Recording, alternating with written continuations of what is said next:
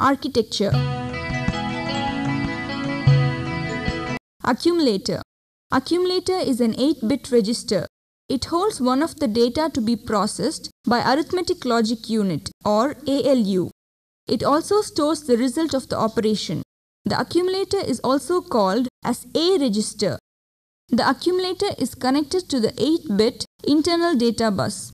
The bidirectional arrow between the accumulator and the bus indicates that it allows the accumulator to send or receive data. The two-state output of the accumulator drives the ALU. Temporary register. The temporary register receives one of the data to be processed by ALU from external memory or general purpose registers.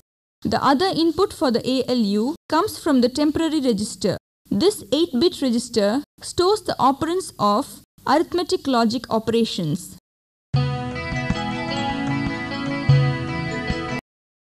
General purpose registers. In Intel 8085 microprocessor, there are six 8-bit general purpose registers. They are B, C, D, E, H and L.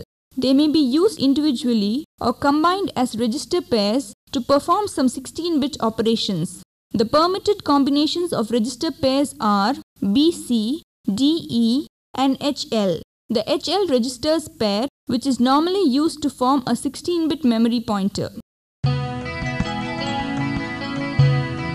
Stack pointer or SP. Stack pointer is a 16-bit register used as a memory pointer. It maintains the address of the last byte entered into the stack. Stack is a portion of RAM. The stack pointer is decremented each time when data is loaded into the stack and is incremented when data is retrieved from the stack. Program counter or PC. This 16-bit register deals with sequencing the execution of instructions. This register is also a memory pointer. The microprocessor uses this register to sequence the execution of the instructions. The function of the program counter is to point the address of the next instruction to be executed. At the end of the execution of an instruction, the program counter is incremented by 1, pointing to the next memory location where the next instruction is available.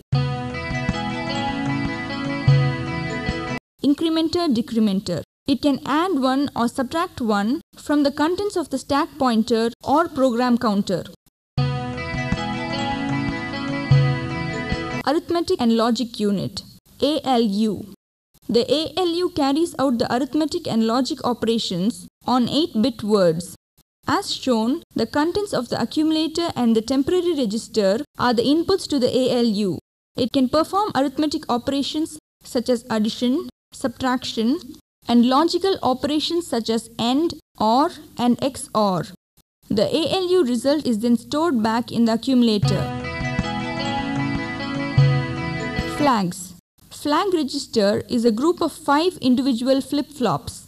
The content of the flag register will change 0 or 1 after the execution of arithmetic and logic operations. Instruction register and decoder. Instruction register and decoder is an 8-bit register. When an instruction is fetched from memory, it is loaded in the instruction register. The instruction decoder decodes the contents of the instruction register. It also determines the operation to be followed in executing the entire instruction and directs the timing and control unit accordingly. Timing and control unit. The timing and control section of microprocessor includes an oscillator and controller sequencer. The oscillator generates the two-phase clock signals CLK and CLK bar that synchronize all registers.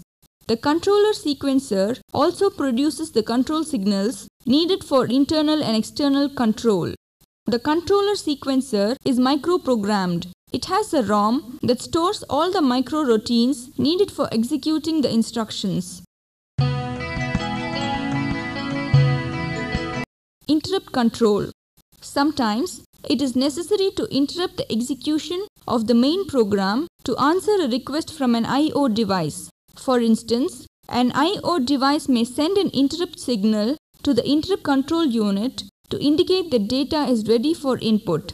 The computer temporarily stops the execution of main program, inputs the data, and then returns to the main program. Serial I.O. control. Sometimes I.O. devices work with serial data rather than parallel. The serial input data enters 8085 through pin 5 SID serial input data and leaves through pin 4 SOD serial output data.